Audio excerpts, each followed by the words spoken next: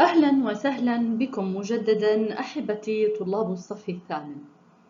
في وحدة جديدة تحمل في طياتها فن الرواية.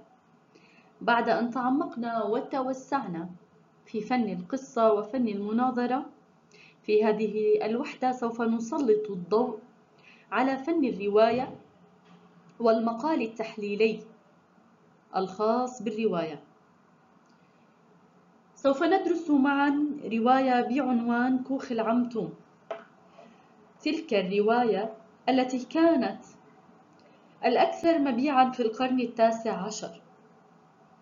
ويعود سبب شهرة الرواية وانتشارها إلى أنها تحاكي صميم الواقع الذي عم الولايات المتحدة الأمريكية في القرن التاسع عشر والذي كان محوره الاستقرار والاستعباد والمتاجرة بالعبيد.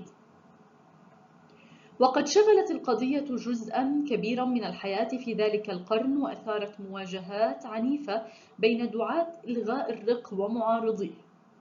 وينسب إليها أنها ساعدت في تأجيج قضية المطالبة بإلغاء الرقيق. بالنسبة لهذه الرواية فقد ساهمت المسرحيات التي اقتبست منها في تشكيل صورة نمطية عن السود والتي لا يزال الكثير منها موجودا حتى اليوم. ومن تلك الصورة النمطية لمامي وهي مربية ذات بشرة سوداء وصورة نمطية للأطفال السود وصورة نمطية للعم توم وكذلك الخادم المطيع الذي على الرغم من معاناته الشديدة إلا أنه يخدم سيده بأمانة. أما أحبة الطلاب بالنسبة لشخصيات هذه الرواية والتي سوف نتحدث عنها خلال هذه الوحدة بالتفصيل من خلال التعرض لأجزاء المقال التحليلي من مقدمة بعد ذلك للزمان والمكان وشخصيات الرواية فقد كان شخصية العم توم هو الشخصية الرئيسة في الرواية فقد كان عبدا مسيحيا نبيلا طالت معاناته. ومع ذلك أصبح اسمه في السنوات الأخيرة صفة موجهة نحو الأمريكيين الأفارقة المتهمين بالبيع للبيض.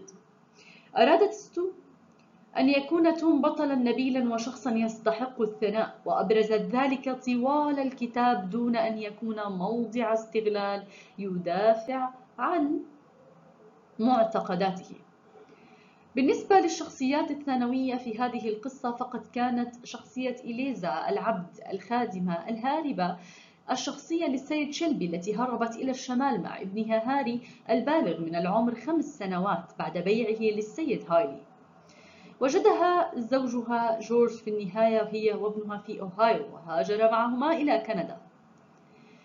ثم شخصية إيفا شخصية إيفا سانت كلير هي ابنة القديس أوغسطين والتي تدخل في القصة عندما يسافر العم توم على متن باخرة إلى نيو لبيعها وينقذ الفتاة البالغة من العمر خمس أو ست سنوات من الغرق بداخل السفينة. بعد ذلك إيفا تتوسل إلى والدها أن يشتري توم ويصبح المدير الفني لمنزل سانت كلير.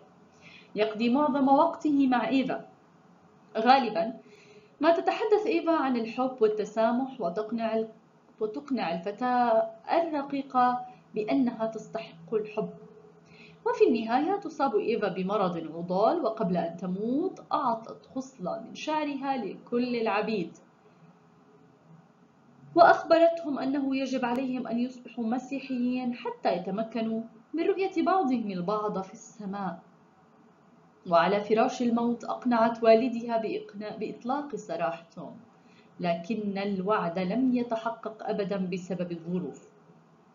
لابد أن تعرف عزيزي الطالب أننا في هذه الرواية سوف نتطرق لدور الأدب في التعبير عن معاناة الشعوب وارتباط الأدب في الواقع.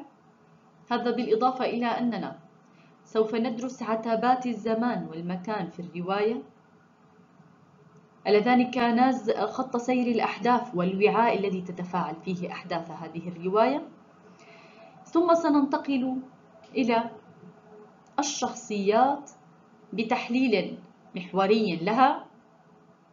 بعد ذلك من الممكن أن ننتقل للعنوان والعقدة والحل والأساليب الإنشائية إلى أن نصل إلى خاتمة العمل الأدبي. وهكذا أحبتي طلاب الصف الثامن خلال هذه الوحدة سوف يكون التقييم النهائي الخاص بك مقالا تحليليا حول رواية كوخ العم توم أتمنى لكم عاما مثمرا مليئا بالحب والخير والعطاء. إلى اللقاء.